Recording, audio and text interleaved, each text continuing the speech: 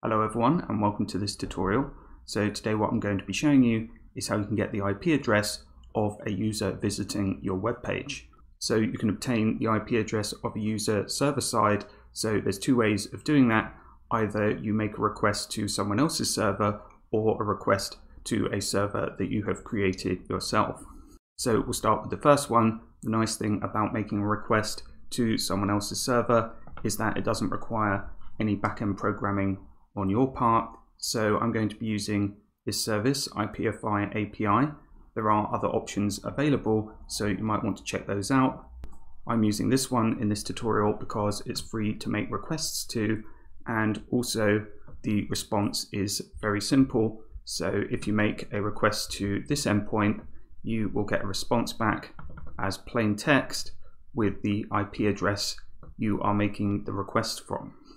So I'm going to make a request to this endpoint in JavaScript and the request is going to be made as soon as the HTML page in which it is embedded loads. So this will reveal the IP address of the user when they visit the page. So my preferred method for making a request in JavaScript is to use the native fetch function. So for a GET request like we're making here, you just include the endpoint in the parentheses as a string. If the response is successful, then this then method is going to be fired and inside the function that you place in there, the result is going to be available to you, which at first is a response object with a readable stream on it. So to read a readable stream, you apply a method to the response object. And in this case, I want to read the result of the readable stream into text format because the IP address is in plain text. And then in the following then method, we have available to us the return statement of the previous function, which is the IP address itself. So I'll log that to the console.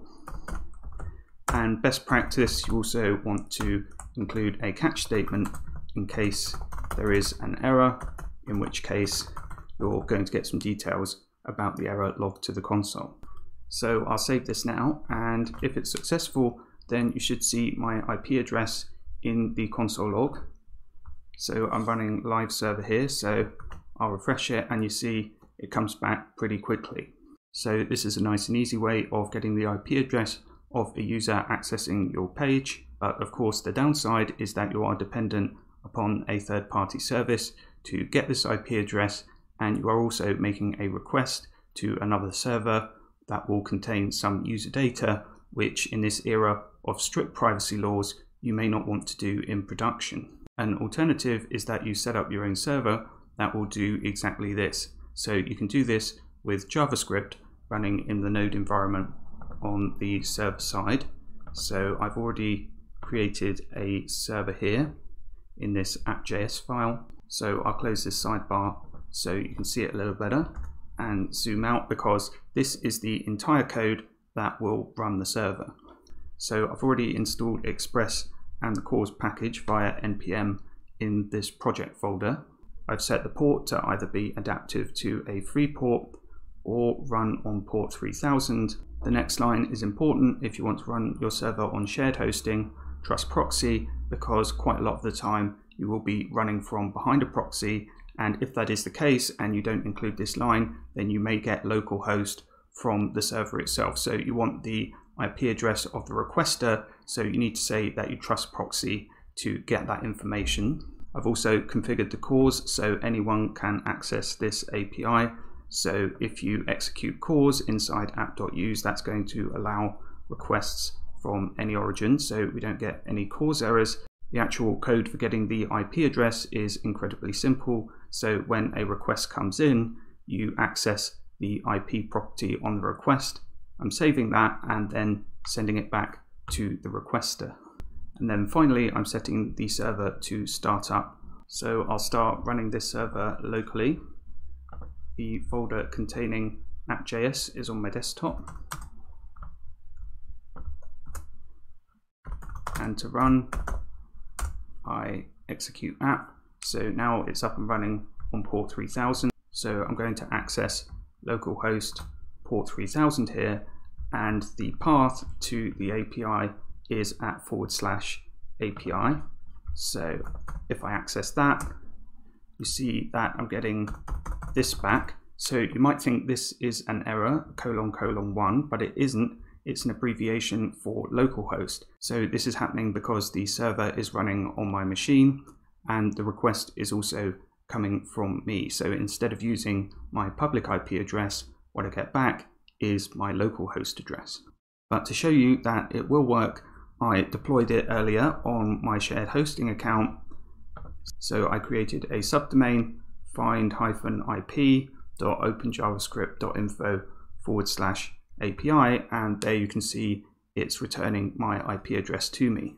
Now if you're using the same solution as we were earlier with fetch, all you need to do is to make your request to this endpoint on your own server now. So I'll copy and paste this code here instead of making a request to ipify I'm going to make that to my own server and also comment out the original third-party code so now if I refresh you see I'm getting the same result back as was from the third-party service but now it's coming back from the server that I deployed.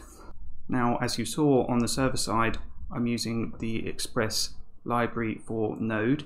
If you're not running Express, if you create a server using pure Node, then the IP address of the requester is available on req.socket.remote address. So this simple req.ip, it works if you're using Express.